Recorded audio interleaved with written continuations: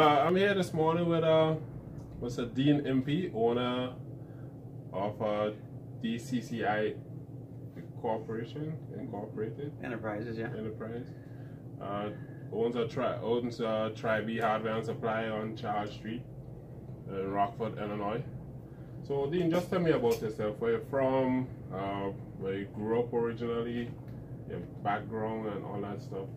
I'm from uh, Chicago area. Okay. Moved out here about 22 years ago for a job in the automation industry. Okay. So you used to run an automation company. Okay. Uh, spent 30 years in automation and got tired of the corporate BS, so decided to do something I wanted to have some fun with. Okay.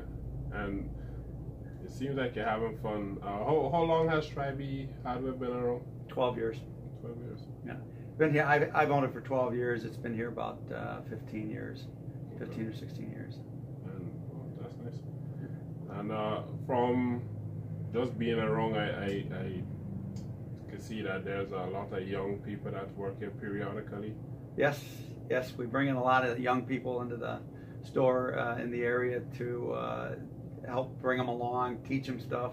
Young guys like working here. Young gals like working here because uh, they learn stuff. That's kind of cool. So, would you say that uh, Tri-B is a uh, what's a what's a term? It's like a, a stepping block for a lot of young kids in the area. Well, it's an alternative to some of the other fast food jobs out there and stuff like that. So hmm. there's a wide variety of things that, that people can learn here. Like like what? Fixing screens, windows, how to deal with customers, different products, tools, how products are used, all kinds of different things, you know. We teach them about a little bit more than just more than just a job. It's our responsibility to help bring these kids along and uh, teach them different things. Yeah, that's that's Not just a job. yeah, that's really good because instead of, instead of being just a job, they actually learn stuff that they could use. Correct. Nice. Yeah, a little bit tough sometimes on them because we're, uh, we're we're Marines. I'm a Marine. Uh, uh, I got out in '76. I'm a Vietnam era Marine, and uh, nice. Teach a little discipline too. So you your military background. How, how does that have an effect on being an entrepreneur? And have you always wanted to be an, an entrepreneur? Of course, everybody wants to work for themselves at one point in life. I would think. Okay. And how has it uh, been? Like, what would you say to someone that wants to be an entrepreneur, wants to work for themselves, but they're uh, held back? What, what, what advice would you give Well, them? just don't be afraid to take a chance. Okay.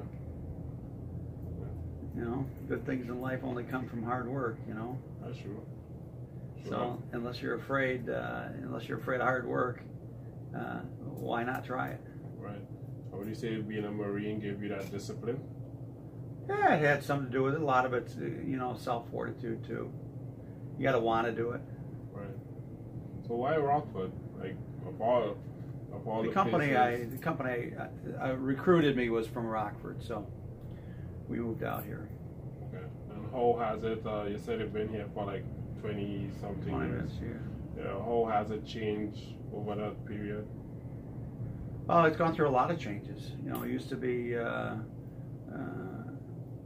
down downtown was kind of depressed and uh, continued to do so for a while. But I see a lot of companies uh, expanding. Woodward Governor and some of the other companies in the area um, expanding in the area. I see a lot of things going on down in Rockford.